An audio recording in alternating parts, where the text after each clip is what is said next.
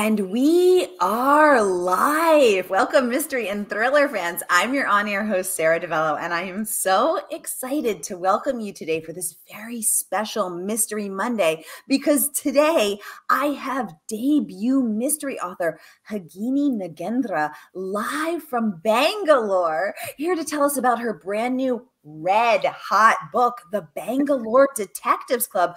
Harini, welcome to Mystery and Thriller Mavens. Tell us about this gorgeous book. Thank you, Sarah. This is such fun to be here because I've listened to so many of the interviews you do, and I'm really excited to be here. So, yay! so, so the Bangalore Detectives Club is a book that is that took 14 years to get from from from the, the beginning when Kaveri, my main heroine, dropped into my head um, in 2007 so it's it's a book set in 1920s colonial Bangalore, and the British are in Bangalore. And uh, Bangalore is an or is an interesting city in colonial times because it has the Maharaja of Mysore, the King of Mysore, ruling one part of the city, and the British ruling the other part of the city.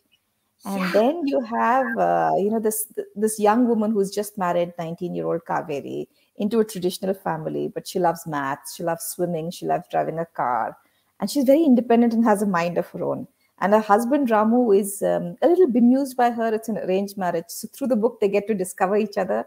Kaveri stumbles upon a mystery, of course, decides to solve it, and the rest is is the book. The rest is the book, and the book is good. So, this book has gotten a rave review in the New York Times. Congratulations. This is so deserved and so earned, and so many other rave reviews, including a starred review in Booklist, which we're going to talk about, and a starred review in Publishers Weekly, which we're also going to talk about. Rhys Bowen, um, Abir Mukherjee, um, M.W. Craven, uh, Catriona McPherson, so many many people weighing in with their amazing words of praise, and we're going to get into every delicious detail. But first, I just want to welcome everybody. So, we are streaming live to six different destinations on YouTube and Facebook. So, no matter where you're watching from, welcome, mystery family and friends. Um, you're in the right place. This is the right time, and you know how it works. This is your chance to ask this incredible author who has lived in both San Diego and Indiana, as well as Bangalore, anything you want about her book, her writing, her uh, her her her her lovely and beloved character, um, Kaveri. And we have so much to talk about. So get the questions going in the comments. Leslie, welcome to the conversation, joining us live from Canada, giving us her signature Canadian hello. So currently we have three countries in the house India, um, America, and Canada. If you're, let us know where you're watching from, everybody um, and uh, and let us know what questions you have for Harini. So first, Harini, I just have to share this incredible review that you got from the New York Times because I want to talk about this. So Sarah Weinman um, in the New York Times book review raved the first in an effervescent, I love that word, new mystery series by the ecology professor Harini Nagendra. The Bangalore Detectives Club turns back the clock a century. This is a treat for historical mystery lovers looking for a new series to savor or devour. Congratulations on that rave review. This is so earned. Um, oh my goodness, we have Tracy Clark in the house joining us from Chicago, award winning, amazing author. Tracy Clark, who's been on the show two or three times. She's coming back in December for her new book. I can't wait. I love Tracy. Tracy, welcome. She's saying, Go Harini. Um, oh, Debbie's here. Hi, Debbie. Hi from Arizona. Welcome to the conversation, Debbie. Thanks so much for tuning in. Debbie just won a book from last week's giveaway. Um, and stay tuned, everybody, because we're doing another giveaway today.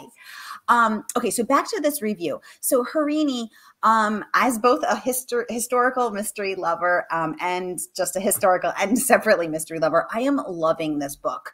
Um, tell us what you you think. So you said it took you. Did you say it took you 14 years to write this book? Tell years, us about yes. that journey. Yeah, so tell us. I, I fiction writing was my first love, so I used to do a lot of it when I was a when I was young, child writing at home, writing for short story competitions. Then I wrote a few children's short stories that were published in newspapers later, and um, a couple of um, did a uh, writing course when I was in Bloomington, Indiana, and did a, they had a couple of short stories. But then I left all of that, moved to academic writing, and you know it's a very different voice. I also write that. Uh, uh, in newspaper uh, columns and I write popular pieces and blogs, etc. And that brain is a very different brain because it's concise. You're always writing to word count. You finish in 600 words, or you know, someone's going. If you do six, ten words, someone's going to cut the wrong ten words out of your column, right? So when I was doing research for my book in 2007, from I was writing, uh, starting work on Bangalore then, and it was not it was not the this book, but it was a non-fiction book called Nature in the City, looking at the ecological history of the of Bangalore.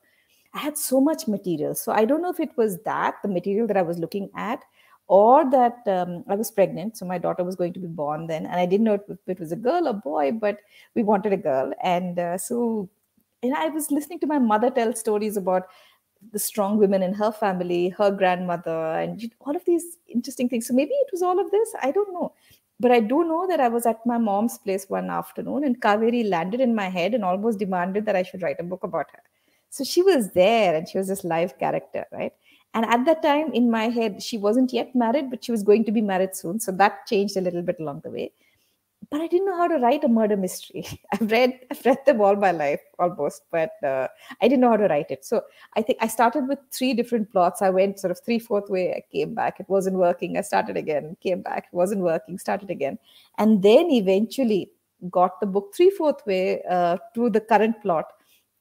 And uh, met my agent. So my agent is also an old school friend, Priya Doraswamy, who's also from Bangalore and so she was completely you know very inspired and very inspiring and said just you should finish this. And i said you know i need a deadline. Give me a deadline i'm an academic i work to deadlines. So priya gave me a deadline. I did the book and then we workshopped it a couple of times back and forth. And then it that's the rest of the journey now, Harini, you said when in your journalistic writing, you you know if they want 600 words and you give them 610, those 10 words are going to get cut. Um, did that kind of uh, really tight writing help you to write this book, um, or was or did or did you have the room to flow, or did it is it two totally different mindsets? How did that work? So I think what helps is a few things. Uh, one is that I can turn up every day and write, and I can make time to write, and I can multitask. So I don't have the the problem. I haven't had the problem yet. Famous last, you know, knock on wood. Uh, I that I that I exactly knock on wood that I that I turn up to to write, and I haven't got anything to write. So that's not been a problem. Uh, I'm also I have a very thick skin. I mean, academics get peer reviews all the time. We get you know some very lovely ones. We get some very nasty ones. So, and I want good feedback and i'm very happy to take feedback and i don't care about the tone in which people give me feedback. So but what it is, i really have to turn the the academic writing side of my brain off. Because otherwise i'm constantly writing to word count or second guessing myself and say why why do you have to write this long sentence? Can't you write it short? And that interferes with the whole creative process of writing fiction so one thing I have realized is that when I'm writing my fiction books, and I did this with my second book, uh, which just went in. So when I when I do my fiction books, I have to, uh, I can't do them after writing nonfiction. I can do it the other way around. So I either do this first thing in the morning or do it on a day when I have meetings and things, but I don't have any writing, academic writing to do mm. or journalist writing to do. I love that. Uh, Donna, welcome to the conversation. First of all, I love your profile picture holding up the tower, the leaning tower of Pisa there. I, I went there on my honeymoon and, and did one of those mm. shots. I'm not ashamed to admit it. So, so great to see that. Donna would like to know Did you use how to write a mystery book to help with the formula? Great question, Donna. Harini, give us a skinny. Great question. No, I mean, I so what I did was after I think I wrote the one of the semi-final drafts i read a whole bunch of how to write mystery books and about the three arc you know storyline the five the five act three act seven act or writing from the middle and working outwards none of them helped me i have to say because i couldn't wrap my head around that my book i realized or oh, my writing style so far is very character driven I know the characters. I want to put them in a setting and see what they do. And then what they do leads to something else and leads to something else. And then the mystery evolves. And so I, I just, I tried writing the plot. A, I can't do it. I can't sit and think of a plot in isolation from characters. Something has to happen for the next thing to happen. And the second thing is the couple of times I tried doing that, not with this book, but another book that I was also writing, uh, you know, completely different, uh, set in more contemporary times I was trying that out just to see how it worked for me as a writer. And I realized that if I had a plot and I had a plot neatly written out, uh, this was for NaNoWriMo, and I was bored because I knew what was going to happen. So I was bored as I was writing. It didn't seem fun. I stopped it. You know, so. So you did participate in NaNoWriMo. So for those who don't know, that is National Novel Writing Month, where writers try to write a book or as much of it as they can in the 30 days of November and then you you hashtag it on Twitter you let everyone know how your progress is going so how much of that was written in NaNoWriMo not this book. So there's another book, book, i was trying okay. no not this book at all. I was trying out another contemporary mystery and i did 45000 words and i'm not this is 2 years ago. Okay. So this is one of the lockdowns and i was just bored. So i tried it. I have no idea what's going it's it's still it's sort of tucked away somewhere. I'll probably come back to it at some point. Exactly. Okay, cool. Um, Priya, welcome to the conversation. So nice to have you. She says, Woohoo, Harini is a dream author. I love her to pieces. Yay, Priya, welcome. Thank you so much for those kind words um, for joining us here today. Harini, is, I totally agree, is a dream author. Um, Harini. And Priya is my fabulous agent, by the way. The oh, hi, Priya. Yay! Welcome to the conversation. It's so great to put a name with the uh, face right, with the name in terms of now I'm picturing you two workshopping it, as Harini said. Um, Donna is laughing about her p- holding up the Tower of Pisa profile. We've all been there. Right? If you go to Italy, you got to do that. Yes. Um, Priya is saying hi. Priya, tell us what you loved about this book. Um, what resonated with you from the very first. And while you're uh, thinking that over, I want to share another rave review. This one, a starred review from Booklist. Congratulations, Booklist raving set in colonial India in 1921. This debut mystery, the first in a projected series, makes full use of the oppressive British rule of the time, matched by the oppressive treatment of, win- of women, to highlight the ingenuity and bravery of a young woman determined to solve a, mur- a murder. Nagendra's uh, evocation of setting is riveting, and her use of colonial history is thoroughly fascinating, with devastating depictions of the airy condescension of the British. A fine promise a fine start to a promising series. So, Harini, let's start there. Um, there I want to talk about each part of that. So, first of all, the um, the oppressive treatment of of women. What was your research process like? So, there's one scene where she is going to go swimming in public, um, where Kaveri is going to go swimming, and and usually she's wearing a sari, which is eight yards of fabric. But if you're trying to swim with eight yards of fabric that's pretty heavy so she has she ties it off under her petticoats um so she's not being sunk. Um so so she's in bangalore she gets to go swimming not just in the you know private well where her in her family's compound but you know her like out there in public. Um so that's a moment of you know more rural you know sort of conservative living conservative family. Yes. tell us tell us about all of this. So one of the things I did want to put in, Kaveri was a strong woman from the moment she landed in my head. But the times were not times that were kind for women, right? And this again, talking about so a lot of my research was, um, or uh, let's say, inspiration came from stories in my family. So my husband's aunt, who's now 96, uh, where used to go swimming in a sari in the 1930s in um, uh, Madras. Uh, yeah, and uh, another friend's grandmother, whom I was interviewing for something else, also went swimming in a sari in Bangalore. So she, there was this, it is, um, these were really, these were real stories. But on the other hand, there were so many things that a woman couldn't do. I'm thinking of my mother, my mother-in-law, strong women who fought against their families, who wanted to stay, keep them at home. And they went to hostels and studied and did undergraduate degrees, which was, you know, in those days in the 1960s, very something that many women did not do. But then eventually they wanted to study further and they couldn't because they got married. And then they wanted to work when they couldn't because they had children and everything had to fit around husband's career and things like that. So Kaveri, if you think of her in 1920s, there were so many societal restrictions on what women could and couldn't do. And in some ways, uh, you know, though the caste structure and the class structure was very hierarchical, and of course the British versus Indian, but in some ways, Indian women from good families, quote unquote, so, you know, uh, upper class, wealthy families, were actually much more monitored because there were so many things that a woman from a good family couldn't do. A good wife, a good mother, not supposed to step out and do things on her own, not step, supposed to step out in public. So I did want to highlight that. For instance, there's a, a part where Kaveri goes to the place where the cowherds are. and women in the roads like hers from the big bungalows are all at home cooking for their men once they're gone. But these women are out in the streets because they have to take their cows to graze, they have to cut the firewood, everything is out on the streets. And so, in some senses, even though they have a harder life, they have a freer life in some aspects. Oh, that's really interesting. Um, and I've noticed that in other um, pieces of, of my own research as well that that that that it, that class and privilege doesn't always act, equal access and liberation yes. or freedom, which yes. is kind of an interesting and mind-boggling twist. Um, I, I I'm I'm really fascinated by that. So thank you for for for you know illustrating for that for us and letting us know how it would how it would um, play out.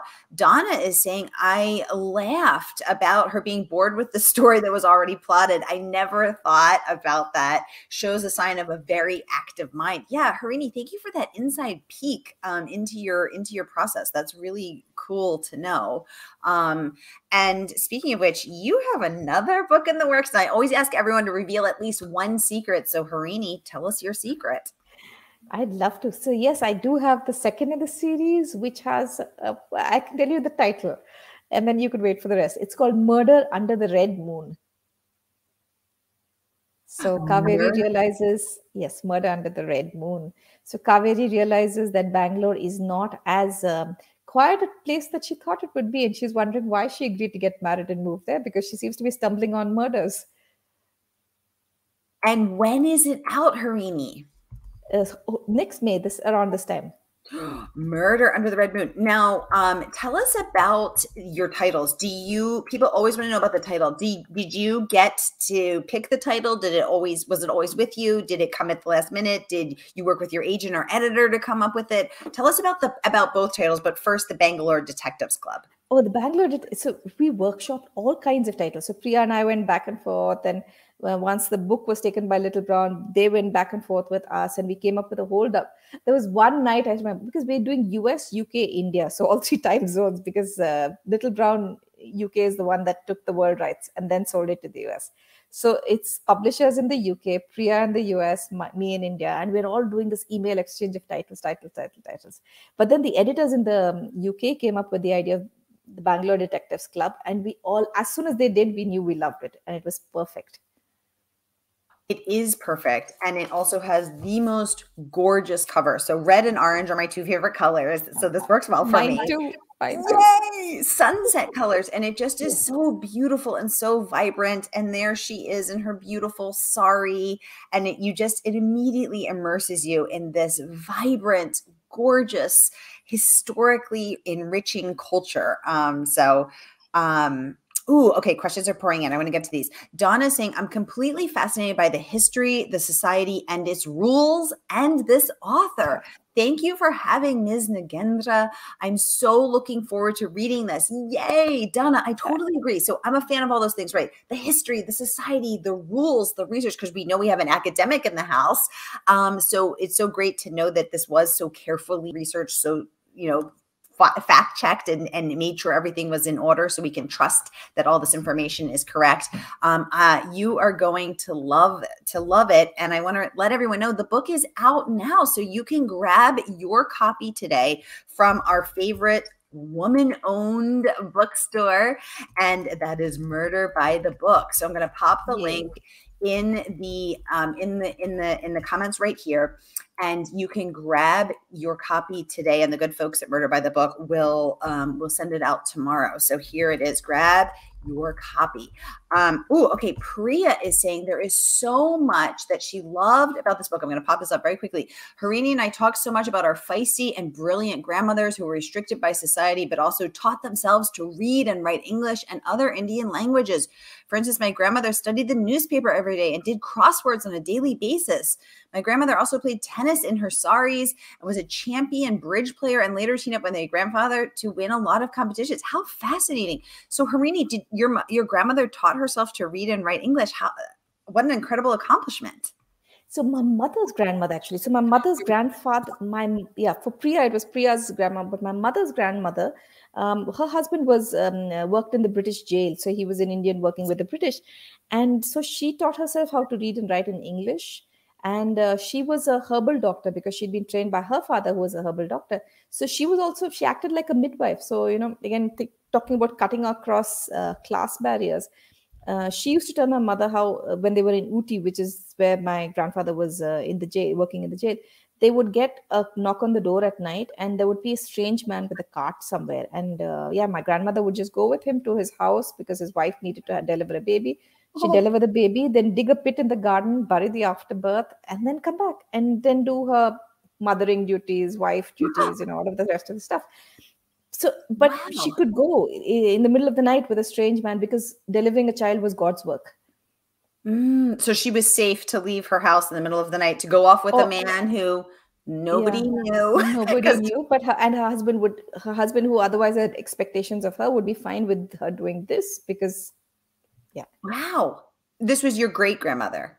This was my great grandmother, whom I never knew, but but through my mother's stories, you know, this lives on.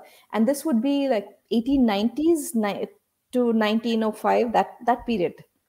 Wow. So 1890s in Ooty.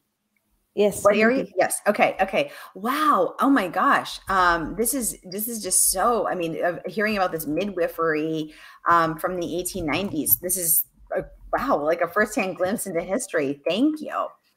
Um, Harini, you have also gotten a, a, starred review. You have earned a starred review from Publishers Weekly as well. PW raving about the book, saying Nagendra makes her fiction debut with an exceptional series launch by, by placing her intelligent and clear-eyed protagonist in the multi-layered and multi- multicultural milieu milieu of colonial India, Nagendra, a university professor in Bangalore, imbues this mystery with a rich, edifying, and authentic feel. Readers will help Kaveri and Ramu will be back very soon. Congratulations on that amazing praise. Um, let's talk about the multi-layered and multicultural milieu. And I'm hoping saying I think I, I should be I hope I'm saying that word right. now I'm panicked that I'm not. Um, how do you weave a because it's complicated to tell complicated stories um especially multicultural stories. So how did you layer it on to to provide as they said this edifying um rich unauthentic feel without batting the reader over the head yeah. or lecturing to them? How do you think you did that? Like what's the secret? So i I had i had to work on it and I, yeah. I have to say it was much easier for book two than it was for book one. And uh, one of the things I really did want to show how Bangalore, because it was such an unusual city with the Maharaja having control over one part of the city and the British having control over another part of the city. And there were gates and posts through which people could pass. And sometimes the, you know, in, in the ecology research, for instance, there was a lake that someone wanted to convert to. The British wanted a lake to be drained to play polo and this is we're talking 1890s and the and the maharaja um, there were a number of orchard owners and garden owners who said you have to leave the lake there because it gives us water which will be used yeah. for our gardens right? Of course. And so the maharaja spoke on behalf of them because they were his taxpayers. And there was this little bit of a confrontation but it ended with the british playing polo and the lake being drained. So there's a lot of that which comes up with my ecology. And i obviously can't dump all of this information on the reader but i can maybe show it in other ways. So the you know one of the ways i showed it in was the british uh, inability to pronounce Indian names. So they always change names. And, you know, for a place, it was okay. But I show this British woman also having her house help and stuff, and she can't pronounce their names. So she just calls them a Christian name, which was common also. So I, I remember uh, having, uh, yeah, knowing, knowing some people who were either Anglo-Indian or British. And uh, at that time, it was there were still remnants of that kind of a thing that I, I, can't pronounce these names. I'm just going to call somebody something. Mm, mm, that's Re- yeah, let's pause on that for a minute because names really matter. And yes. that is our identity, that is our self-expression, and that is our history, our ethnicity, our the, the our you know, our history stretching all the way back for the generations. Yes. So it matters to get someone's name right. And I always want to get everybody's name right because if you don't, you're stripping them of that sacred part of mm-hmm. their identity. And there has been this harmful history of some of, of, of white Anglo people not wanting to put the work in to learn Absolutely. how to pronounce other names and projecting their own centering and projecting their yes. own whiteness and english speaking on on cultures that are not yes. um, which is sort of essentially dehumanizing um, so that i thought was a very painful poignant and powerful part of the book mm-hmm. um, and actually my friend dr Samia Dave who is um, a first generation indian american um, she was in line for a book signing with Candace Bushnell, I believe, who wrote Sex in the City. Mm-hmm. And Samia noticed in herself that she had always sort of been uncomfortable to correct people when they didn't say her name right. And so she would allow to spare them the discomfort, she would just let right. them mispronounce it. And so when Candace Bushnell asked her how to sign her book, Soumya tried to spare her the embarrassment. And Candace Bushnell looked at her and said, Don't ever like try to spare people that embarrassment. Let them get your name right. That's and it changed That's, everything for Soumya. Yeah, yeah. And it is such oh, a that's a lovely story. Yeah so getting names right and so i loved those moments in your book because it it just brings you right into it um so thank yeah. you for that. Thanks. But but it was it, it was not easy i think because the, the whole editing process i did tend to put great chunks of things. So what what i had to do then is go back and take out all these chunks and make like three lines here and three lines there or find a, a narrative that would show this but not tell you know and it it's i guess something that you get get hopefully gets better with practice Yes, thank you. Um, Donna saying she just bought the audio version. She'll walk on the beach and transport herself into another amazing life. Yes, you can smell the, the the the the, sense of the delicious food and the and the flowers and all of the you know you, it really immerses you in. Let's talk about the voice of the audiobook. Harini, did you get input into that? Are you happy with the voice? Tell us about that. I haven't yet heard the audio version, so oh, I need to listen to that. But they were very, very particular speaking of names and accents and pronunciation. So they sent me a 300 word Excel file and they asked me to say each name out loud. So I recorded in my phone and I sent it back to them. Oh, and, yeah. Uh, yeah. So they, I know they took a huge amount of care and I'm really looking forward to listening to the book. Yay. Yay. I know this is going to be so fun for you to hear somebody else reading your words yes. of your of your character of hearing Kaveri like you know speaking yes. in this other person's voice that's really cool Donna let us know what you think of the audiobook how fun um Okay, we have three minutes left. So, anyone have any questions? Get them going. I'm going to share a few more amazing reviews.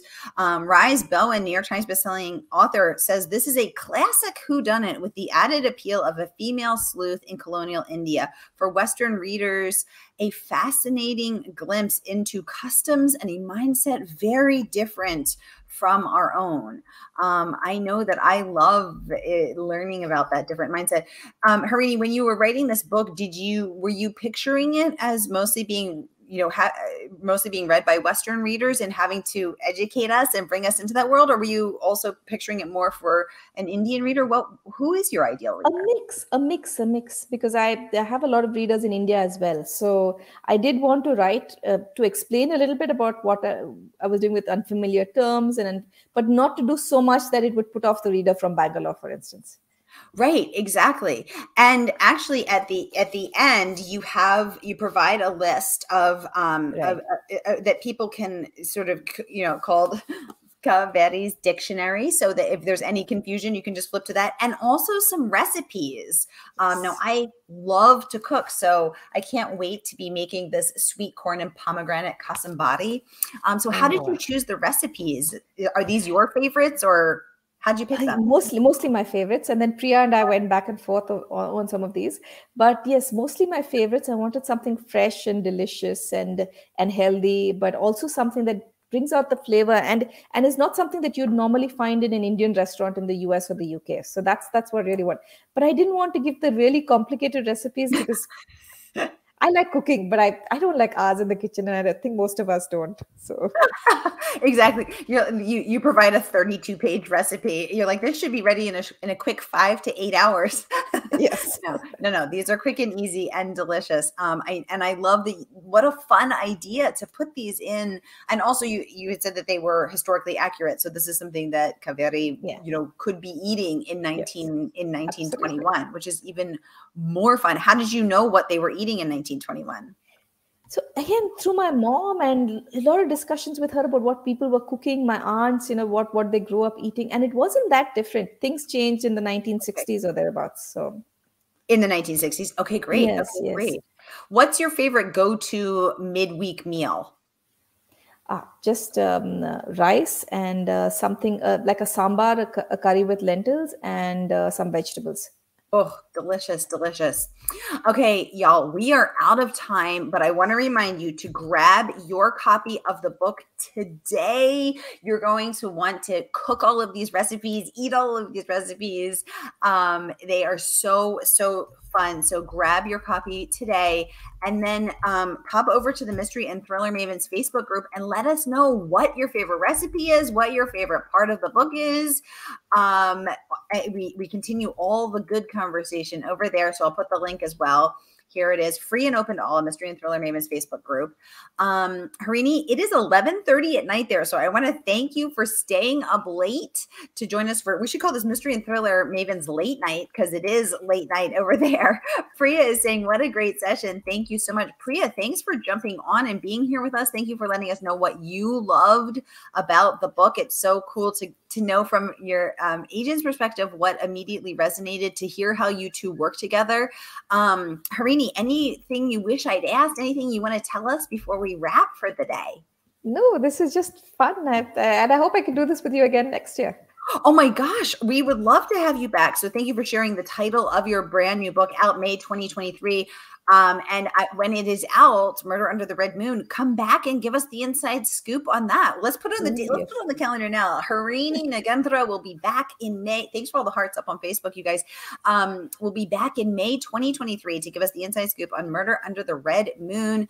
Um, you're not gonna want to miss it. But meanwhile, grab the Bangalore Detectives today. Uh, link is right here in the comments. Harini, thank you so much for staying up late to join us. Thank you, Mystery and Thriller Mavens, for jumping on to talk with us. And I will see you tonight at 7 and 8 p.m. with Dervla McTiernan and the amazing Victoria Helen Stone. Have a great day and hang in there because remember, Mystery Mondays, because Mondays can be murder. Have a great day, everybody. Thank you.